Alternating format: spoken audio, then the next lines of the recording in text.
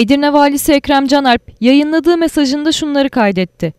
Sahil ve karasularımızın korunması ve güvenliğinin sağlanmasında, deniz yolu ile yapılan her türlü yasa dışı eylemlerin önlenmesinde fedakarca görev yapan Sahil Güvenlik Komutanlığımızın 38. kuruluş yılını kutluyorum.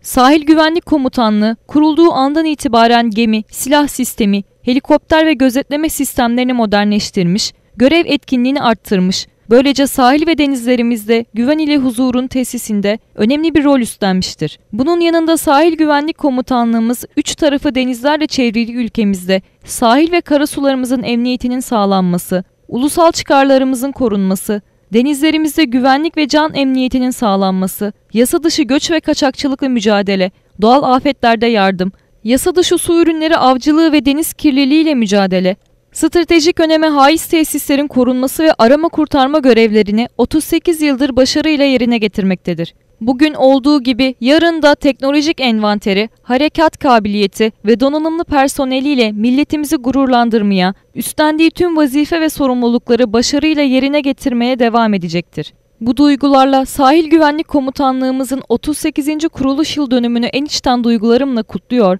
Bu vesileyle milletimizin huzur ve güveni ile ülkemizin bölünmez bütünlüğü uğruna canlarını esirgemeyen aziz şehitlerimizi rahmetle anıyor, gazilerimize minnet ve şükranlarımı sunuyorum.